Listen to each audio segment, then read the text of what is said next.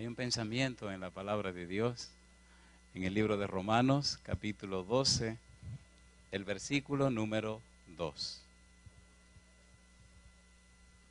Romanos, capítulo 12, versículo número 2.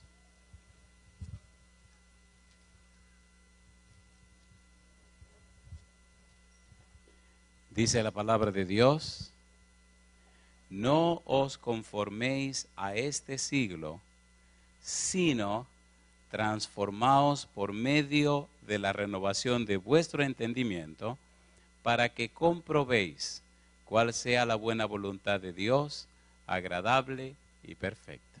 ¿Qué les parece si nos colocamos en pie y oramos? Querido Padre Celestial, muchas gracias por las experiencias hermosas que los jóvenes han tenido en este día santo. Gracias por la compañía de los ángeles y la dirección del Espíritu en cada uno de ellos. Y gracias por la manera receptiva de las personas a su palabra y a su mensaje. En esta hora, Señor, rogamos que nos habilite, nos prepare, nos capacite para entender su palabra. Que los ángeles nos acompañen, que su Espíritu nos dirija, que el Santo Espíritu nos traiga palabra de vida para la vida eterna. Que todo lo que estudiemos, Señor, se conviertan en principios de vida para la vida. Y que hoy recibamos no la palabra de un predicador, pero sí la palabra de Jehová que vive y permanece para siempre. Háblenos Dios. Lo pedimos en el nombre de Jesús. Amén. Recibiréis poder. Es el título de este hermoso fin de semana con los jóvenes. En el capítulo 12, versículo 12, el apóstol Pablo dice, no os conforméis a este siglo. ¿Qué significa conformarse a este siglo? Cuando una persona es llena del Espíritu Santo, cuando una persona recibe el Espíritu de Dios, no se conforma a este siglo, no se conforma a este mundo. ¿Qué significa conformarse a este mundo? La idea del pensamiento es no se sometan a las cosas del mundo, no se acomoden con las cosas del mundo, no se dejen enmarcar en las cosas del mundo, no permitan que el mundo los atrape y los haga como ellos son. La idea es más amplia. Por ejemplo, en el libro de Mateo capítulo número 24, versículo 37, el Señor Jesús dijo cómo serían las cosas al final de la historia. ¿Podemos leer? San Mateo capítulo 24, versículo 37. No os conforméis a este siglo. Jesús dice que en el tiempo final, en nuestro siglo, las cosas tendrían un perfil claro. Y entonces Él explica y dice, versículo 37, mas como en los días de Noé, así será la venida del Hijo del Hombre. ¿Cómo sería este tiempo? Como en los días de Noé. Y él añade que en los días de Noé, porque como en los días antes del diluvio estaban comiendo y bebiendo, casándose y dando en casamiento, hasta el día en que no entró en el arca. ¿Y qué dice ahora? Y no entendieron hasta que vino el diluvio y se los llevó a todos. Así será también la venida del Hijo del Hombre. Jesús compara la época de Noé con la época nuestra. Jesús nos dice, si ustedes descubren cómo era la época de Noé, descubrirán cómo será la época de ustedes. Si descubren los perfiles de la gente en la época de Noé, descubrirán cómo será la gente en la época suya. Estudien la Biblia, investiguen y aprendan cómo eran la gente en aquel tiempo y entonces notarán los perfiles del mundo en el tiempo del fin. Cuando leemos la Biblia descubrimos que en la época de Noé los hombres no quisieron aceptar a Dios no quisieron seguir los dictámenes de Dios, no quisieron seguir los principios de Dios, todo lo contrario, no quisieron darle gloria a Dios. El apóstol Pablo lo explica y da detalles interesantes. Por ejemplo, en el libro de Romanos capítulo 1, gracias, Romanos capítulo 1, versículo 21, vamos rapidito, porque somos los protagonistas de esta época. Romanos capítulo 1, versículo 21. Pues habiendo conocido a Dios, ¿qué dice? no le glorificaron como a Dios, ni le dieron gracias, sino que se envanecieron en sus razonamientos y su necio corazón fue, ¿qué cosa? Entenebrecido. Pregunto, las personas antediluvianas estaban cerca, estaban próximo a la creación, sí o no? ¿Sí o no? ¿Sí o no? ¿Conocieron a Adán, sí o no? ¿Estaba allí la creación recién acabadita de salir de las manos de Dios? Sí. Tenían suficientes evidencias para creer en Dios. Pero la Biblia dice que no quisieron creer. Dice que no quisieron glorificarle. En otras palabras, no quisieron identificarse con Dios. No quisieron relacionarse con Dios. Jesús dice, pongan cuidado porque en la época de ustedes pasará igual. La gente no querrá darle gloria a Dios. No querrá mostrar en su vida la imagen de Dios. Hoy día mucha gente se avergüenza de ser santo. Es más, que la palabra pecado ni se menciona. ¿Es así o no es así? ¿Es así o no es así? Hay una gran cantidad de religiones que se han convertido en clubes y lugares o centros de reuniones o de pasatiempo. No se habla de pecado, no se habla de arrepentimiento y se trata de que los clientes, perdón, de que los miembros no sean ofendidos. ¿Sí o no? Entonces no quieren darle gloria a Dios. Pablo dice, no os conforméis a este siglo, no se conformen a este mundo. ¿Y cuáles son los perfiles de este mundo? Sigue diciendo Romanos capítulo 1, me llama la atención, dice el apóstol Pablo versículo número 23, 22, profesando ser sabios se hicieron necios y cambiaron la gloria del Dios incorruptible en semejanza de imagen de hombres corruptibles, de aves, de cuadrúpedos y de reptiles. No queremos adorar a Dios, así que adoraban a los hombres. No queremos adorar a Dios, entonces comenzaron a adorar a las aves. No queremos adorar a Dios, adorar a los cuadrúpedos. No queremos adorar a Dios, adorar a los reptiles. Adorar lo que fuera y no a Dios. En otras palabras, querían reflejar en su vida cualquier cosa, pero no a Dios. ¿Y qué pasa hoy día? ¿Qué pasa hoy día? Mire usted cuántas personas a diario se ponen tatuajes. Pero miren los motivos de los tatuajes. Unos dragones que eso es espantoso, ¿o no? ¿Sí o no? Mi pregunta, ¿se parece este tiempo a la época de Noé? ¿Se parece o no se parece? Dice el apóstol Pablo, capítulo 1, versículo 24, por lo cual también Dios los entregó a la inmundicia en la concupiscencia de sus corazones, de modo que deshonraron entre sí sus propios cuerpos, ya que cambiaron la verdad de Dios por la mentira, honrando y dando culto a las criaturas antes que al Creador, el cual es bendito por los siglos. Amén. Por esto Dios los entregó a pasiones vergonzosas, pues aún sus mujeres cambiaron el uso natural por el que es contra naturaleza, y de igual modo también los hombres, dejando el uso natural de la mujer, se encendieron en sus lascivias unos con otros, cometiendo hechos vergonzosos, hombres con hombres, y recibiendo en sí mismos la retribución debida a su extravío. ¿Está pasando eso hoy día, sí o no? ¿Sí o no? Y sigue diciendo, y como ellos no aprobaron tener en cuenta a Dios, Dios los entregó a una mente reprobada para hacer cosas que no convienen. ¿Está ocurriendo o no está ocurriendo esto?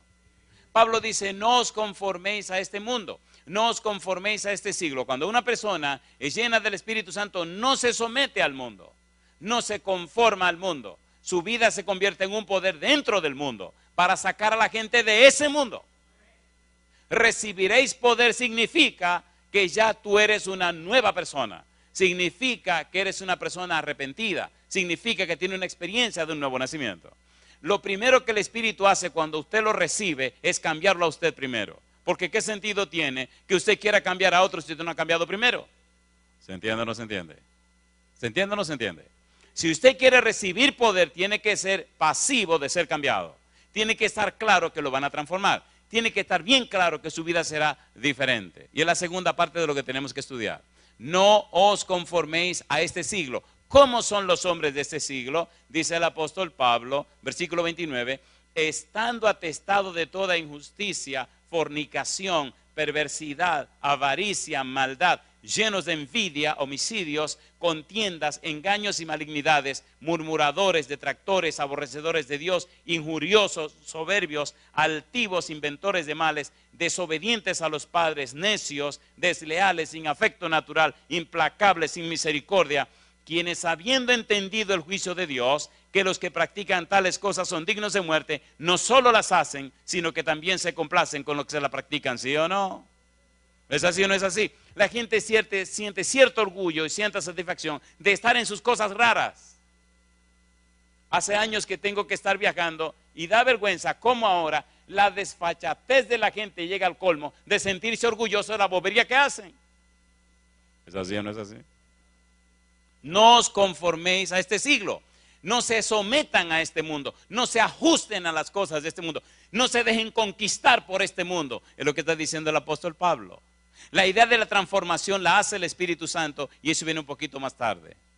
Pregunto, pregunto, ¿se parece este tiempo a la época de Noé? Jesús lo había advertido. La gente se está sometiendo a este mundo inconscientemente, sí o no. La televisión, las películas, las revistas y muchísimas cosas están predicando un evangelio que no tiene nada que ver con Dios. La gente está dejándose atrapar por las cosas de este mundo. No os conforméis a este siglo. El apóstol Pablo dice, hablando de nuestro tiempo, segunda de Timoteo capítulo número 3.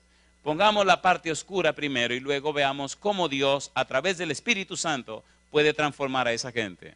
Segunda de Timoteo capítulo número 3 dice, también debes saber esto, que en los postreros días vendrán tiempos como peligrosos, porque habrá hombres amadores de sí mismos, avaros, vanagloriosos, soberbios, blasfemos, desobedientes a los padres, ingratos, impíos, sin afecto natural. ¿Qué sigue diciendo?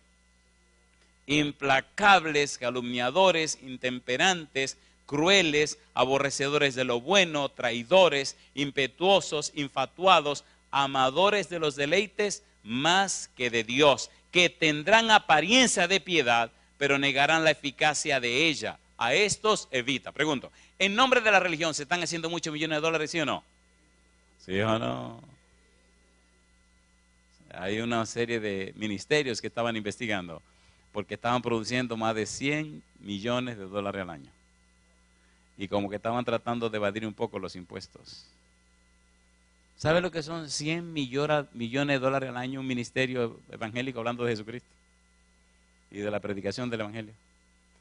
Que tendrán apariencia de piedad, pero negarían la eficacia de ella. A estos evita.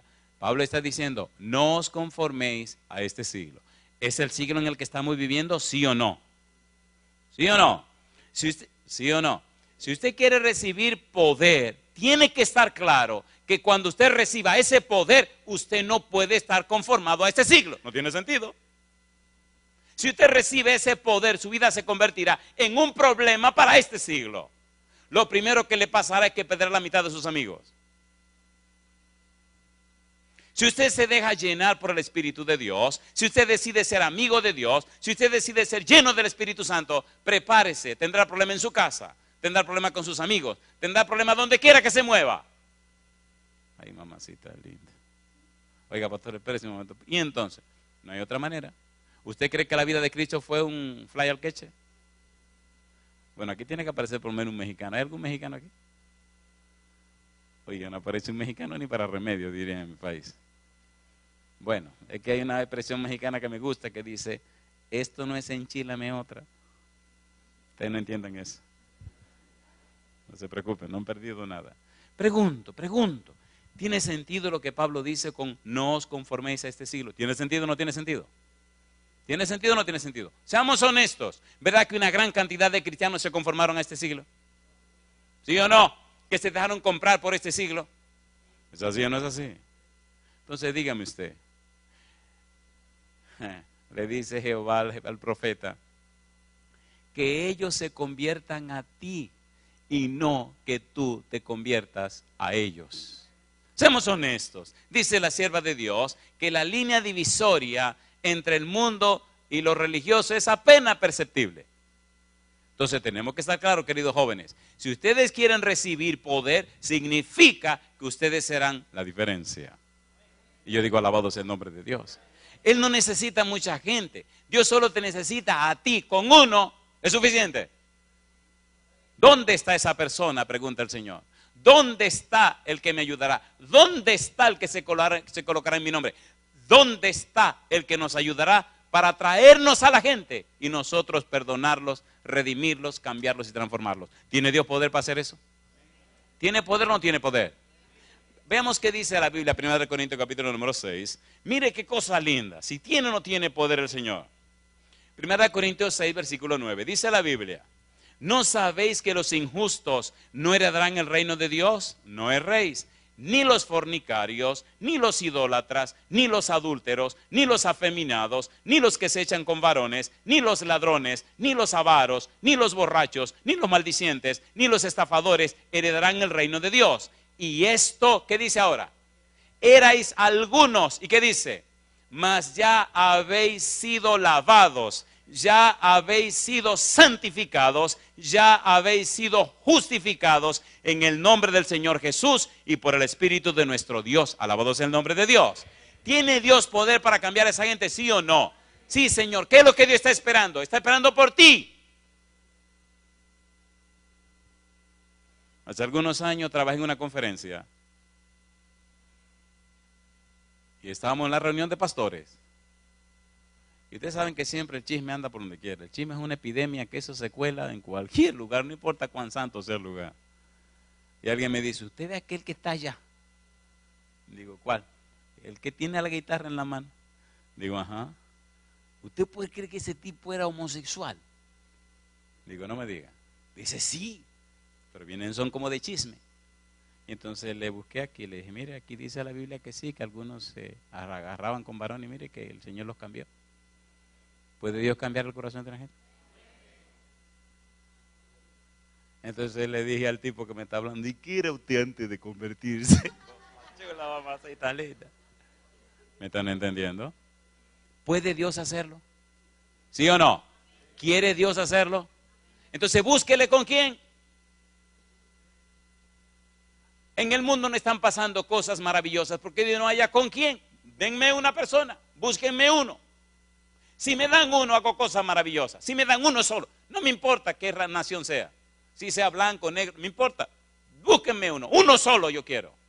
Y voy a hacer cosas maravillosas. ¿Dónde está esa persona? No os conforméis a este siglo. ¿Entendimos esa primera parte? ¿Se entiende o no se entiende? ¿Se entiende o no se entiende? ¿El apóstol Pablo perseguía a la iglesia? ¿Sí? ¿Maltrataba a los cristianos? ¿Mataba a los cristianos? ¿Sí o no? ¿Quién vino a encontrarse con Pablo? Cristo Jesús. ¿Se encontraron o no se encontraron? Cuando Pablo se encuentra con Jesús, tiene un encuentro hermoso con el Señor Jesús, tiene una entrevista con Jesús. Me gusta lo que hace Lucas. Lucas, el escritor bíblico, aunque no era judío, escribió dos volúmenes del Nuevo Testamento. Y me gustan porque los dos volúmenes en realidad son un solo libro el Evangelio según San Lucas y el libro de los Hechos de los Apóstoles. Y lo escribe para otro gentil como él. Y lo hace de una manera muy interesante. A mí me gusta lo que hace Lucas en la historia de Pablo. Tres veces repite la historia de la conversión de Pablo. ¿Estaba impresionado Lucas? Completamente. Lo lindo es que en cada una de las veces añade algo que no dijo en la anterior. Mi pregunta, ¿se convirtió Pablo en un paladín del Evangelio? A ver, ¿sí o no? Entonces, escuche por favor la mentalidad de Pablo.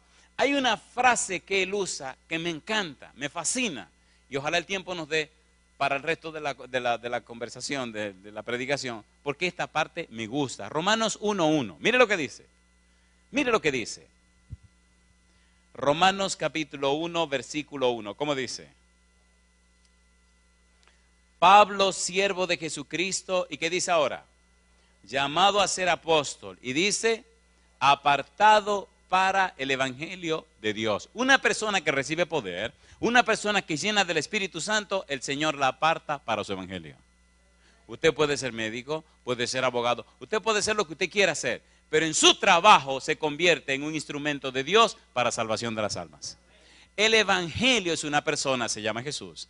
El Espíritu Santo es una persona. Y cuando usted conoce a Jesús y cuando usted tiene el Santo Espíritu, entonces esa persona llamada Espíritu Santo se adueña de la vida suya y a través de usted alcanza a los pecadores. No importa cuál sea su trabajo.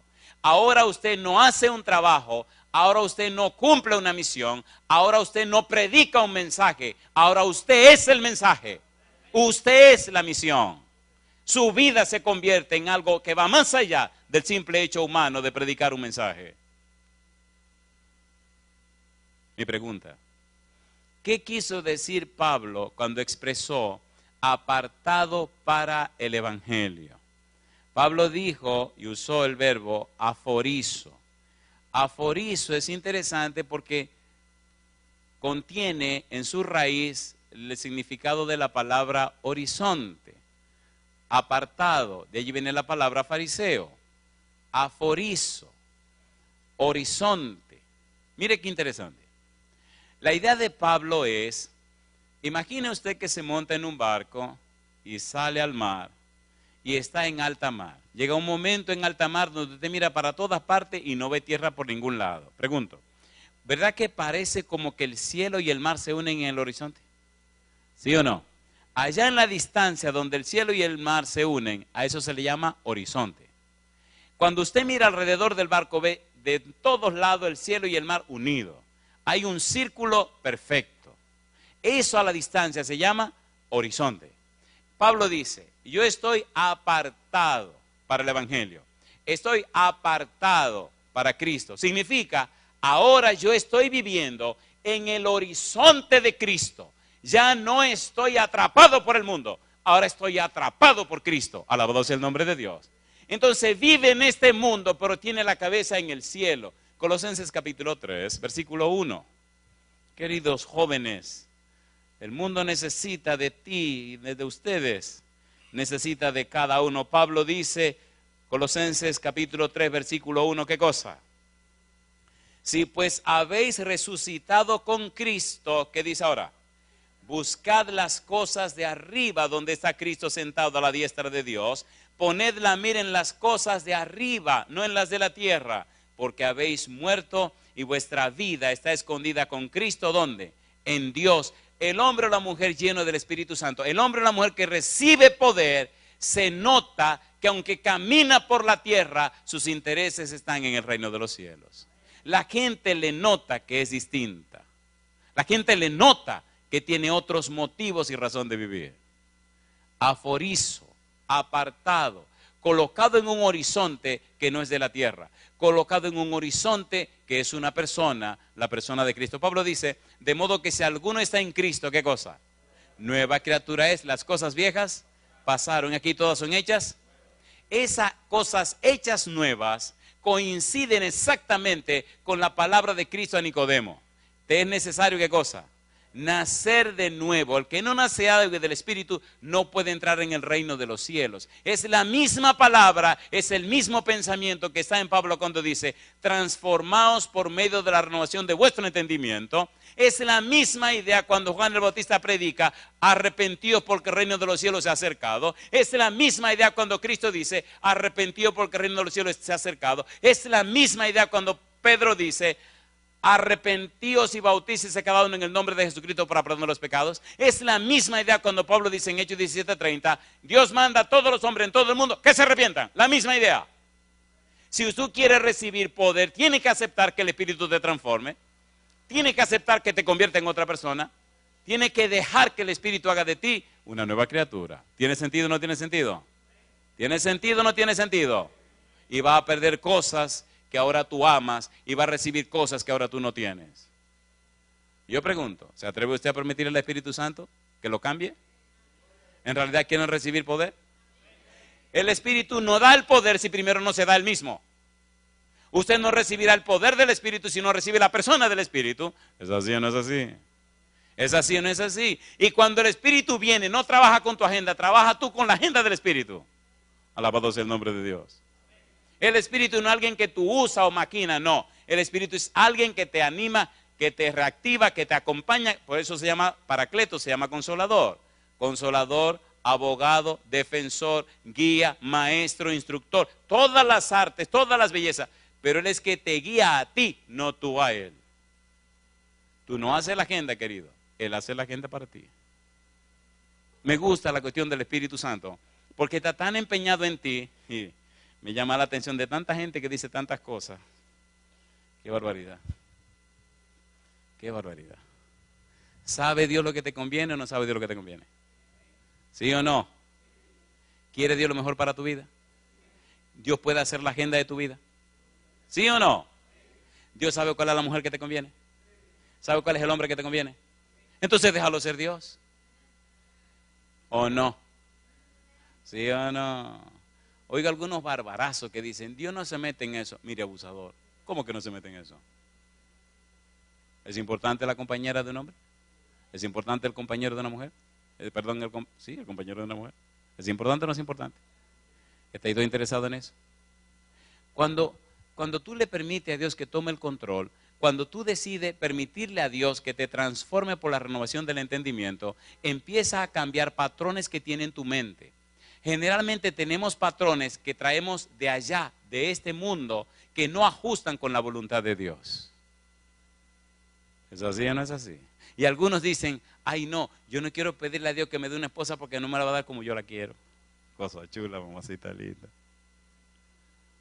¿Y qué, cuál es tu problema? No, no, no, no, no, no, no, yo mejor no le digo, yo la busco como yo quiero. Y después llega el divorcio. ¿Sabe Dios cuál es la mujer que te conviene? ¿Sabe Dios cuál es el hombre que te conviene? ¿Sí o no? ¿Se atreve usted a cederle al Señor su voluntad? ¿Qué dice el libro de Proverbios capítulo 4, versículo 23? ¿Cómo dice? Vamos rapidito porque tenemos que entrar en la parte más importante. Proverbios 4, 23. ¿Qué dice Dios? ¿Cómo dice el versículo 23? Proverbios capítulo 4, versículo número 23. Dice la Biblia, sobre toda cosa guardada que dice, guarda tu corazón porque de él mana la vida. Pablo dice y habla de renovación, dice, por medio de la transformación de vuestro entendimiento. Entendimiento es la palabra mente, transformación de la mente. Transformación significa que se ocurre una metamorfosis, ocurre un cambio. Cuando estudiamos la Biblia, encontramos a Dios empeñado en cambiarnos que dejemos de vivir en la carne para aprender a vivir en el Espíritu. Por ejemplo, Primera Tesalonicenses capítulo número 5. Mire lo que dice Dios. Dios se compromete a hacer el trabajo en tu vida, a transformarte. Dios se compromete a hacerlo. Él no te está pidiendo que lo hagas tú. Primera Tesalonicenses capítulo 5, versículo 23 y 24, dice la Biblia. Y el mismo Dios de paz que os santifique por completo y todo vuestro ser, espíritu, alma y cuerpo sea guardado irreprensible para la venida de nuestro Señor Jesucristo. Fiel es el que os llama. ¿Qué dice ahora? El cual también lo hará. ¿Puede Dios transformar tu vida? Sí. Si tú quieres recibir poder, tiene que permitirle al Espíritu que te transforme, porque es tu experiencia la que cambiará la vida de la gente. No son tus palabras, no es un sermón, es tu experiencia con el Espíritu. Tu experiencia con el Espíritu producirá sermones poderosos que cambiarán la vida de la gente. Cuando la gente se convence con un sermón, posiblemente no se convierta con el sermón. Y es posible que estemos trayendo mucha gente convencida de la verdad, pero no convertida a la verdad. Y es cierto que tenemos que adorar a Dios, número uno en espíritu y número dos en verdad nos hemos quedado solo con la verdad y no hemos vivido en el Espíritu. ¿Sí o no? ¿Sí o no? ¿Sí o no? Vemos gente que conoce la verdad y son llenos de orgullo. Conocen la verdad y la predican llenos de muchísimas boberías. ¿Dónde está la sencillez? ¿Dónde está la humildad? Necesitamos la verdad, pero necesitamos aprender a vivir en el Espíritu, ¿sí o no? ¿Sí o no? Es en el Espíritu que somos transformados. Es en el Espíritu que recibimos una nueva simiente. En el libro de Primera de Pedro capítulo 1 versículo 23 habla de que a través de la Biblia recibimos una nueva naturaleza. Cuando tenemos esa nueva naturaleza, esa nueva simiente, la da el Espíritu. Entonces nuestra vida se convierte en un poder en la tierra. Nos convertimos entonces en una herramienta del cielo que camina por la tierra.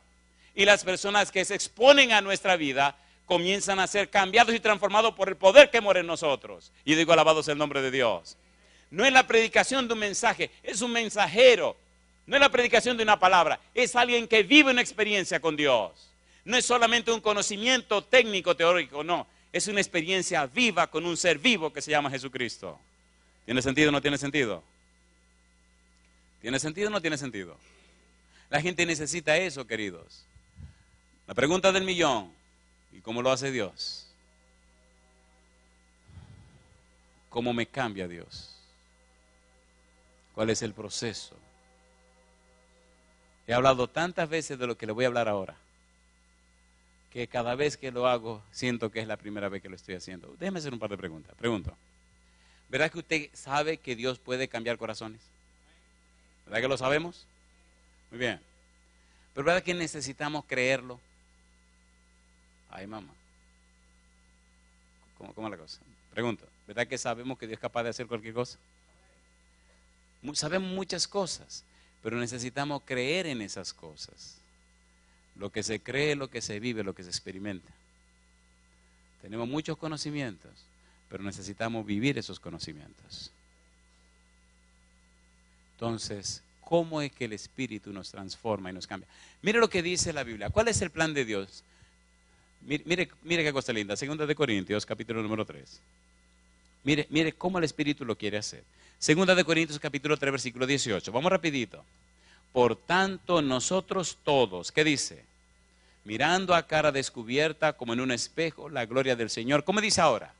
Somos transformados, ¿cómo dice? De gloria en gloria en la misma imagen, ¿cómo dice ahora? como por el Espíritu del Señor. ¿Quién nos transforma de gloria en gloria? El Espíritu Santo. ¿No le gustaría esta experiencia ser transformado de gloria en gloria? ¿Verdad que se cansa el relajo ese de que me caigo y me levanto y que me caigo y me levanto? ¿Qué relajo es ese? ¿Sí o no? Pastor, que ya estoy cansado de esto de que me caigo y me levanto. Pues no te caiga. La pregunta era, ¿y cómo no me caigo? Bueno, no te pongas a correr, esté tranquilo. No, no, no, no, esa no es la respuesta. ¿Le gustaría que aprendamos en la Biblia cómo lo hace el Espíritu? A ver, ¿quieren o no quieren? Déjenme hacer una pregunta a ver si, si estamos en, el mismo, en la misma página como dicen algunos. Queridos, queridos, ¿verdad que necesitamos una experiencia poderosa con Dios? Una experiencia viva, real con el Señor. ¿Sí o no? No es lo mismo decirle a la gente las cosas que deben hacer que mostrarle a la gente el estilo de vida que deben vivir. ¿Es lo mismo? No es lo mismo. Hace algún tiempo me llevaron a conocer el yunque. ¿Saben lo que es el yunque aquí? Tremendo yunque, compadre. Y llegamos al yunque. Y entonces cuando llegamos nos dijeron, mire pastor, que hay una cascada eh, allá abajo y que hay que bajar para ir a ver la cascada. Pues vamos. Mamacita linda. Empezamos a bajar escalones. ¿Han bajado esos escalones? Seguro que te han bajado esos escaloncitos. Cosa chula. Y comenzamos a bajar y como bajar es tan sabroso.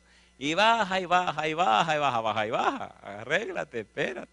Oye, llegamos allá abajo y se veía la cascada y qué sé yo. Que yo empiezo a reírme. Y me dicen, hermano, ¿y por qué usted se ríe? Digo, perdone, yo tengo una malicia en mi corazón. ¿Y cuál es su malicia? Digo, vamos a ver ahorita cuando haya que volver allá arriba, compadre. A subir esos escalones. ¿Me están entendiendo? Entonces le dije, vamos a pararnos allí adelante para ayudar a la gente cuando vayan subiendo, porque olvídate, eso que usted ve gozándose y bañándose ahí adentro, cuando empiecen a subir y suban por lo menos los primeros 300 escalones, yo te voy a hacer un cuento. Y así mismo fue. Terminaron todos, ¡eh! Contento todo el mundo, ¡eh! eh vamos arriba ahora. Empezaron a subir y algunos se fueron adelante que para llegar primero. Digo, déjalo que se vayan, déjalo que se vayan. Y comenzaron a subir, a subir, a subir. Y veníamos detrás asegurándonos que nadie se quedó detrás.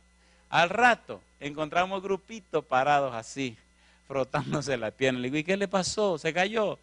No, ¿y qué es lo que tiene? Me duele la pierna. digo, ay, anda. Y entonces le pregunté, ¿y usted no camina por la mañana? Mm, mm. ¿Ni hace ejercicio? Mm, ah, pues tiene que hacer ejercicio, está fuera de forma. Y seguíamos caminando. Compadre, llegamos arriba, hubo que esperar y esperar y esperar y recontra esperar y esperar y esperar y esperar y esperar y esperar. Mire, amigo mío, se nos fue la tarde esperando. ¿Por qué se nos fue la tarde esperando? Porque esa gente no hace ejercicio. ¿Me están entendiendo? En el mundo espiritual es lo mismo. Necesitamos ser llenos del Espíritu de Dios para que no tengan que estar esperar y esperar y esperar. La gente necesita que tu vida esté llena de ese poder.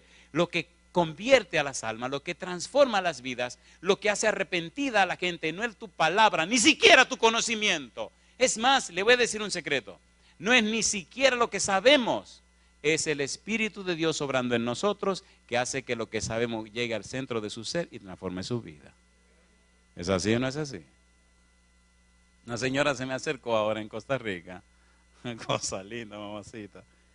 Me dice la doña, yo tengo 74 años. Digo, qué bien, me bautizo el sábado. Qué bien, usted es el culpable. Digo, no, yo pago cualquier culpa. Dice, yo me puse a estar curiosa, oyendo los sermones, empecé oyendo la escondida, después seguí oyendo, seguí oyendo, seguí oyendo. Vino mi hijo, que se bautizó en la iglesia de ustedes, empezó a hablarme, y ahora mire, ahora voy a tener que enfrentar a toda mi familia. Yo no sé qué es lo que van a hacer. Yo me voy a bautizar primero y después que hagan lo que les dé la gana. Total, yo una vieja de 74 años. ¿Qué me importa a mí? Que no me visiten, que no me saluden. ¿Qué me importa? Pero le entregué mi vida a Jesucristo. ¿Cambia el Espíritu de Dios a la gente? Yo le pregunto, muchachos y muchachas, ¿ustedes quieren que el Señor lo haga con ustedes? Es que ustedes no pueden recibir poder para usar el poder. No, el Espíritu es una persona. Y usted tiene que aceptar las consecuencias de recibir ese poder. ¿Cuáles son las consecuencias? Que usted será transformado, cambiado y convertido en una nueva persona. ¿Cómo lo hace el Espíritu? Efesios capítulo número 3. Esta parte me encanta. Esto lo he dicho tantas veces en mi vida que yo pienso que ya está, es parte de mí mismo. Efesios capítulo número 3, versículo 10. Vamos a comenzar con el verso 10. ¿Por qué es importante entender esto? ¿Por qué es importante entender esto? Efesios 3:10. ¿Tiene Dios planes con la iglesia? ¿Qué quiere Dios con la iglesia? Dice el verso 10, para que la multiforme sabiduría de Dios sea ahora dada a conocer por medio de la iglesia, ¿a quiénes? A los principados y potestades, ¿en dónde? En los lugares celestiales. ¿Quiere Dios dar a conocer su multiforme sabiduría en los lugares celestiales? ¿Sí o no? ¿A través de quién quiere hacerlo? A través de ti quiere la iglesia. Qué cosa linda. Imagínense que hasta los ángeles quieren saber de la multiforme sabiduría de Dios y lo van a ver a usted. Mire este versículo de 1 de Pedro 1.12. A ver si su Biblia tiene este versículo. 1 de Pedro 1.12. ¿Cómo dice el versículo 12? A esto se les reveló que no para sí mismos, sino para nosotros, administraban las cosas que ahora os son anunciadas por los que, os predica, los que han predicado el Evangelio por el Espíritu Santo enviado del cielo. ¿Y qué dice ahora? Cosas en las cuales, ¿qué dice? Anhelan mirar los ángeles. Las cosas que el Espíritu reveló a los profetas, los ángeles anhelan mirarla. Los ángeles anhelan entenderla. Y ahora dice la Biblia en Efesios 3:10 que la multiforme sabiduría de Dios sea dada a conocer por medio de la iglesia a los principados y a las potestades en los lugares celestiales. ¿Qué es lo que está diciendo Pablo? Pablo está diciendo, cuando el Espíritu Santo toma la vida tuya, cuando el Espíritu Santo te cambia y te transforma, los ángeles se maravillan al ver que una persona que reflejaba el rostro del demonio, del diablo, una persona que era una persona perdida, ahora refleja la belleza y la santidad del carácter de Jesús. Eso es lo que está diciendo. Dice la sierva de Dios que los ángeles se maravillan cuando ven que un ser humano pecaminoso, arrastrado, es cambiado y transformado por el Espíritu y ahora refleja la belleza y la santidad de Jesús. Y dice también que los demonios se sorprenden, se espantan y se van de al lado de esa persona, porque no lo pueden creer. Alabado sea el nombre de Dios. Eso es lo que el Señor quiere hacer contigo. Eso es lo que quiere hacer conmigo. Ese testimonio, queridos, de un hombre cambiado, una mujer cambiada, cambia y transforma la vida de la gente, sin necesidad de palabras. Ustedes saben que el mundo se está perdiendo, que esta cuestión se acabó. ¿Lo saben o no lo saben? ¿Sí o no? Y ustedes saben que en el mundo de hoy la selva ya no es donde están los animales. Eso cambió ahora. Antes iban a hacer safari en la selva, a cazar animales. Ahora al revés, los safaris se hacen en medio del pueblo entre la gente. Y sabe que hay mujeres que andan cazando. ¿O no? ¿Sí o no? Y no les importa que usted sea negro y feo y viejo. Le quieren disparar también. Pero se nota que se frenan cuando se dan cuenta que usted es una persona distinta. El diablo no está en diablo. El diablo es más psicólogo que diablo. El diablo sabe quién tú eres. ¿Sí o no? ¿Sí o no? Entonces yo le pregunto, ¿le gustaría a usted que el Espíritu transformara su vida? Efesios capítulo 3, versículo 16 en adelante. Hagamos un resumen de esta parte tan importantísima. ¿Cómo lo hace el Espíritu Santo? ¿Cómo el Espíritu Santo te cambia, te transforma?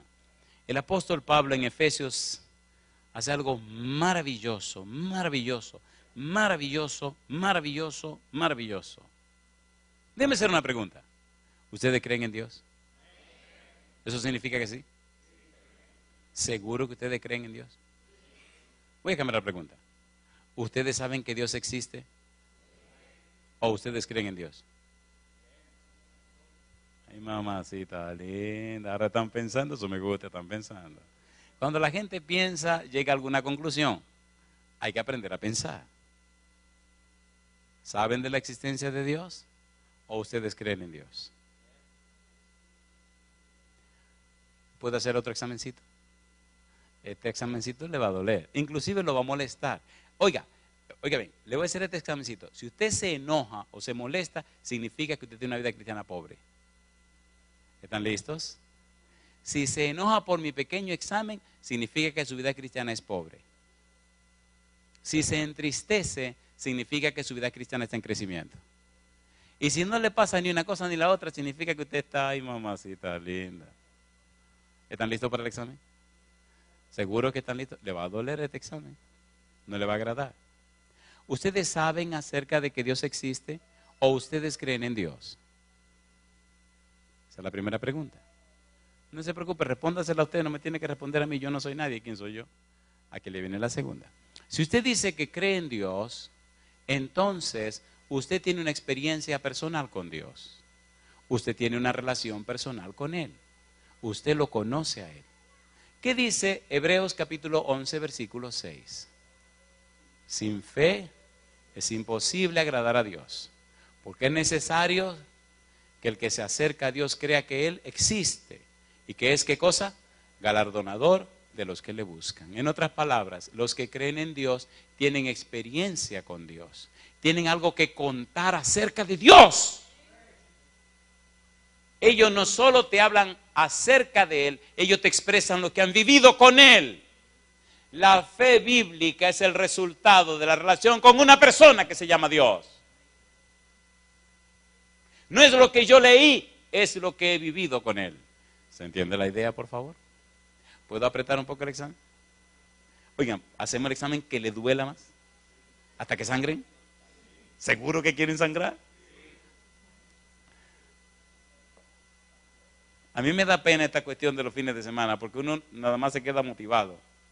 Y perdonen, pero la verdad es que ahora que me estoy motivando. Eh, uno tiene que, yo era pitcher y uno necesita tiempo para calentarse. Uno llega temprano y empieza a y ayer y esta mañana fue como calentando el brazo. Ahora es que yo me siento como que vamos a empezar el juego, pero se acaba mañana. Qué barbaridad. En realidad, ¿quieren que le metamos duro un poquito aquí? Aunque usted se ofenda.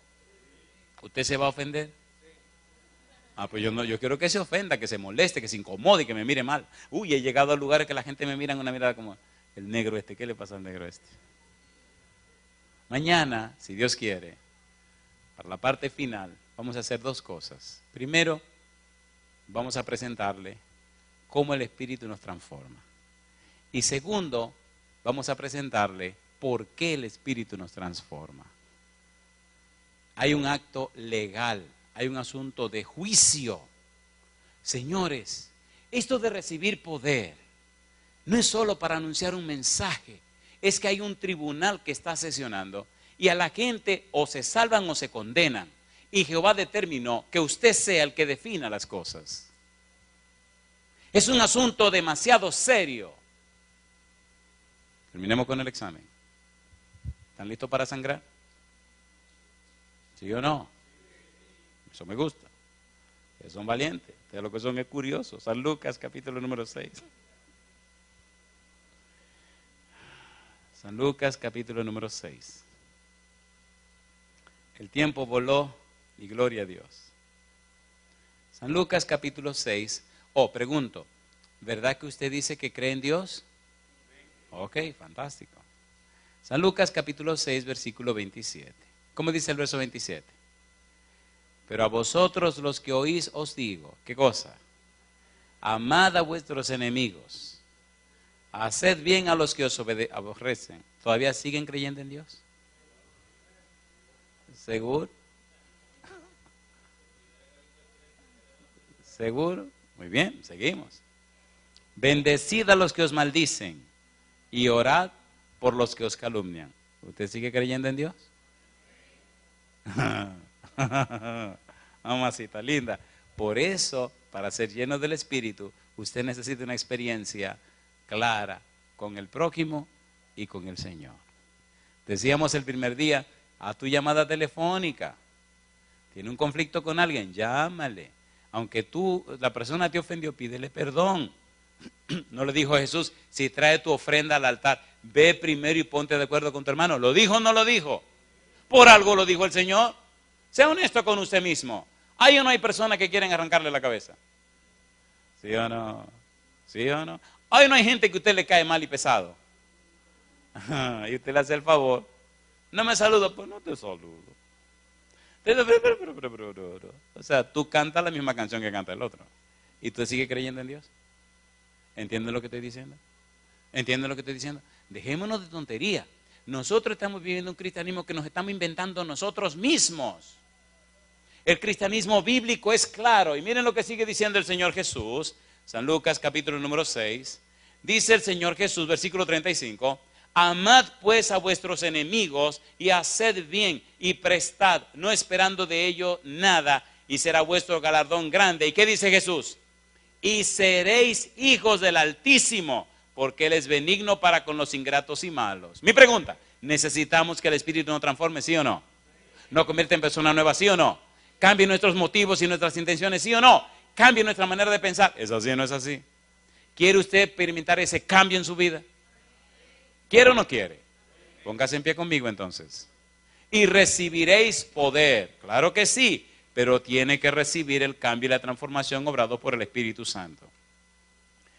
Vamos a dejarle una tarea con la que vamos a comenzar mañana, porque si empezamos a analizar esto, el tiempo nos va a traicionar.